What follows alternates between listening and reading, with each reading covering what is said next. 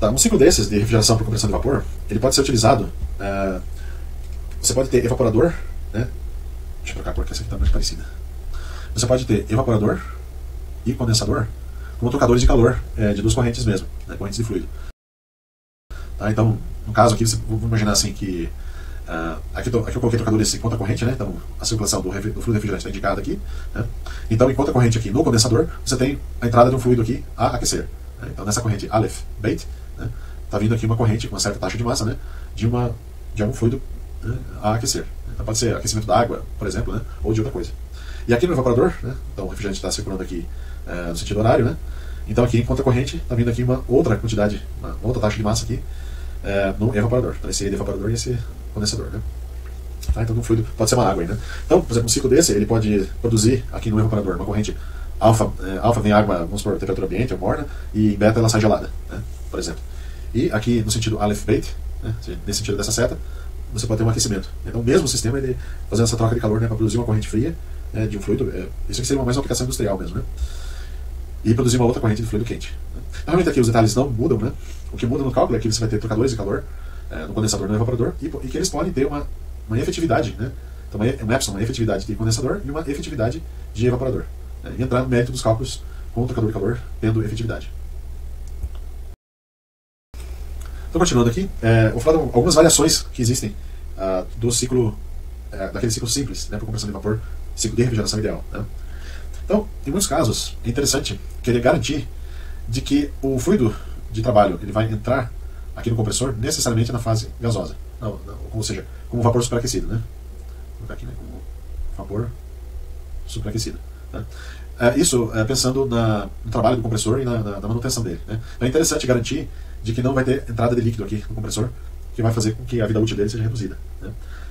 Da mesma forma, é interessante também garantir né, que aqui na válvula de expansão, de expansão não haja entrada de, de, gás, ou seja, que só tenha fase líquida aqui. Né? Ou seja, que seja um líquido uh, subresfriado, né, um comprimido. Né? Então, subresfriado ou líquido comprimido aqui na válvula. Tá? Então, para garantir uma condição dessa, né, para deixar mais provável, né, é, é, utilizado um regenerador, ou seja, um trocador de calor a mais, né, que vai funcionar em contra-corrente entre o que está saindo do condensador, que está em alta temperatura, e o que está saindo do evaporador. Né? Então, o que está saindo aqui do evaporador vai vir para cá e vai entrar por aqui, né, nesse sentido, e o que está vindo do condensador ele vai entrar por esse sentido, ou seja, eles vão funcionar em contra-corrente aqui. Né? Tá, então, é, fazendo o, fluido sair do condensador e passar por um pequeno trocador de calor, né, que vai estar tá trocando junto com o que está saindo do evaporador, do evaporador, ele vai garantir uma diferença de temperatura aqui. Tá? Então, esse é o primeiro ponto. Né? Porque se esse não condensou completamente, né, se ele tem ainda alguma coisa de vapor é, saturado, né, misturado com líquido saturado, é, o fato de ser uma mistura saturada em alta pressão já indica que ele vai entrar com a temperatura mais alta aqui do que o que está vindo do evaporador, né, que é exatamente o oposto. Mistura saturada em baixa pressão. Tá, então é garantido, né, pelo arranjo aqui, pelo né, arranjo dos componentes, que você vai ter uma diferença de temperatura apreciável nesse trocador de calor, nesse regenerador aqui, interno. Tá?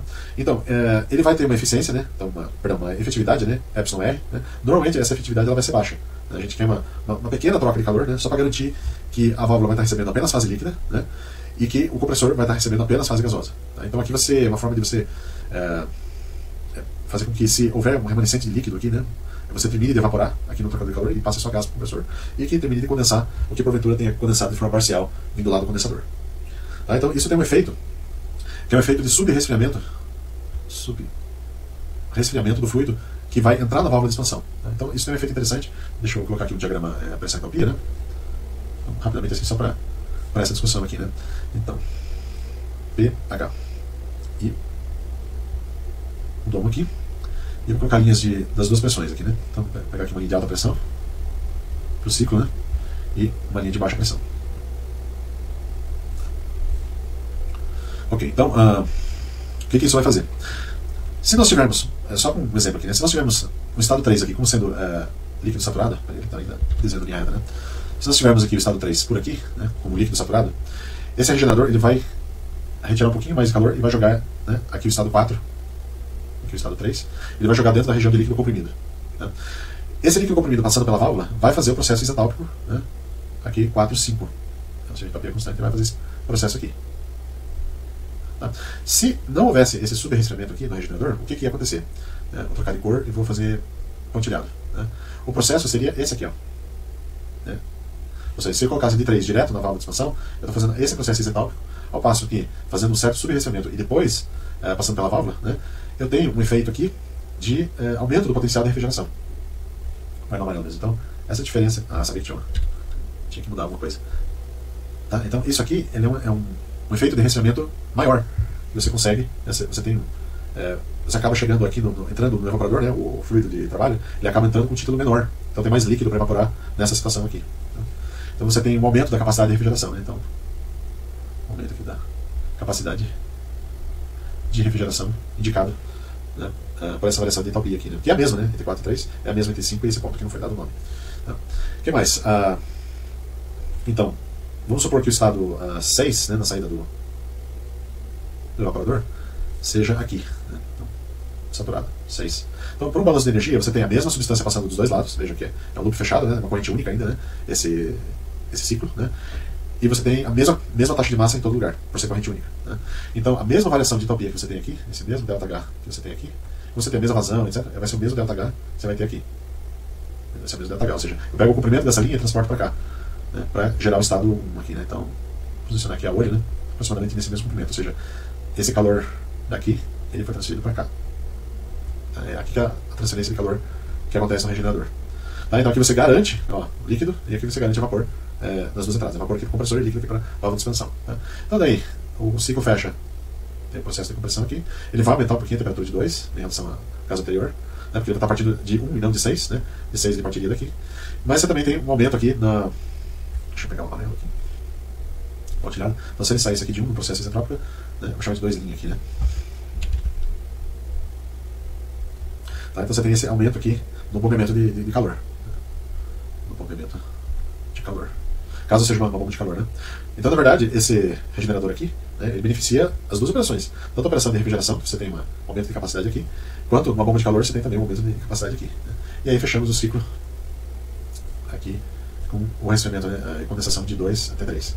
Tá? Então, o efeito de você colocar o regenerador aqui, né, ele alarga, né, por bem dizer, né, ele alarga o ciclo no diagrama pH na horizontal, no sentido de jogar a entrada da válvula de expansão para cá e a entrada do compressor para cá. Né? E aí você consegue um aumento uh, da capacidade de refrigeração e também do movimento de calor. Então, isso aqui acaba sendo benéfico aí, né? E também, uh, você não fica é, é, dependendo da troca térmica aqui do evaporador para estabelecer a tua condição de entrada no compressor, né? Você tem esse outro fator aqui que vai...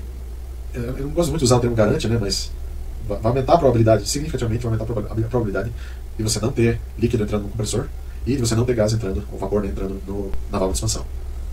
Então tá aí os benefícios de você colocar um pequeno regenerador. Né? Normalmente aqui o Epsilon é bem baixo mesmo. Né? É só para jogar esse ponto um pouquinho para lá e jogar esse, esse, estado um pouquinho para cá. Aqui, né?